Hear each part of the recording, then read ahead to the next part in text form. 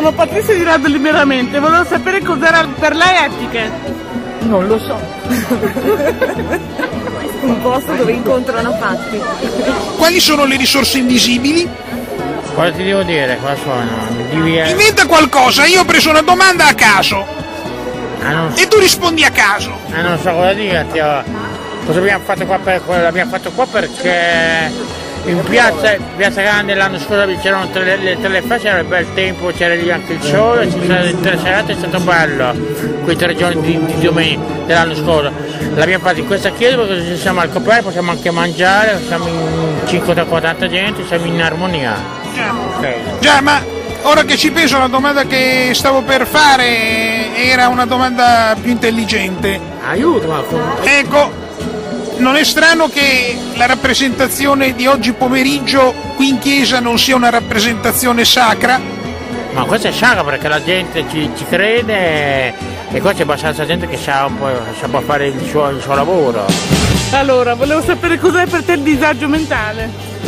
Il disagio mentale eh, può essere una risorsa da un certo punto di vista, però può essere anche un problema per altre persone, quindi credo che sia una cosa che deve risolvere la collettività tutta insieme e la società tutta insieme, oltre ai medici, gli psicologi e le stesse persone che ce l'hanno. Grazie. Domanda troppo difficile però, eh, non me l'aspettavo. Sono Simone di Radio Liberamente. Cosa ne pensa delle risorse invisibili? Io penso che le risorse invisibili siano importanti come e più delle risorse visibili, perché possono essere quelle energie che chi volesse farlo non può catturare e che possono cambiare il mondo alimentate dalla speranza, dai valori e delle energie che ciascuno di noi porta nel cuore oltre che nel cervello. Arte, cultura e spettacoli per scoprire le risorse invisibili. Le risorse- In effetti purtroppo le risorse migliori spesso sono invisibili perché sono umili e modeste le risorse vere, le altre sono un po' più spettacolari o no? Assolutamente, bellissimo questo. E noi abbiamo elaborato qualche domanda. Come è venuto a conoscenza di questa iniziativa? Passando per strada in questo momento, abito qui dietro, purtroppo non mm, sono molto impegnata con la famiglia e il lavoro, sono passata, mi sono fermata. Quindi non, non so se avete fatto altro tipo di pubblicità. È un po' per capire anche questo. Beh, tra le domande che abbiamo fatto, eh, siccome la signora è interessata al tema delle risorse invisibili, non so Eh, volevo sapere cosa sono le risorse invisibili. Per me? Sì. Ah, le risorse invisibili sono il patrimonio creativo di una città, delle sue persone e anche il patrimonio della città in quanto eh, insediamento urbano e quindi la capacità anche di cogliere quelle che sono le bellezze eh, eh, culturali, la, la storia, eh, le, le potenzialità di una città. Ha trovato le chiavi di etiche?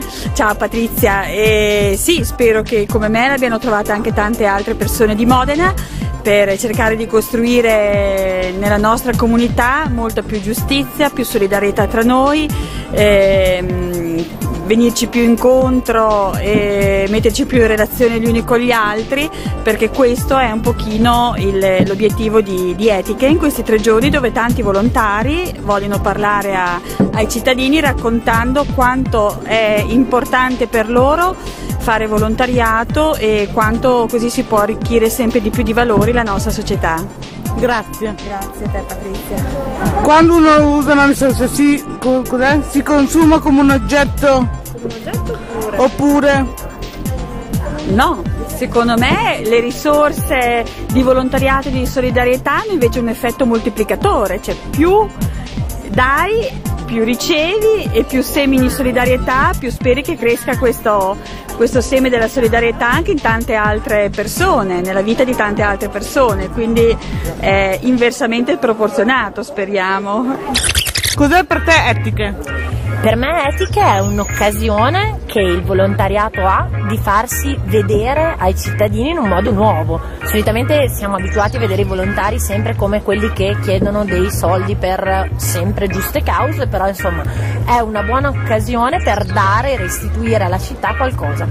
Le risorse invisibili per me sono quelle risorse come ad esempio il volontariato che ci sono, che abbiamo già a disposizione come città e come cittadini, ma di cui spesso ci scordiamo un po' che esistono. Cos'etiche per me è una bellissima iniziativa che coinvolge tutte le associazioni di volontariato e quest'anno sono molto contenta che ci sia anche Radio Liberamente. Grazie. Apriamo un po' la, la biblioteca vivente. Che cos'è la biblioteca vivente? La biblioteca vivente è una, una, biblioteca dove il catalogo, tutti i libri che sono in catalogo sono persone che raccontano la propria storia e è, um, è un tentativo di decostruire gli stereotipi. Potendo parlare con qualcuno che racconta la sua storia, ci si confronta e molte delle idee che magari si hanno su queste categorie possono modificarsi. Ma ogni libro una rappresenta una categoria?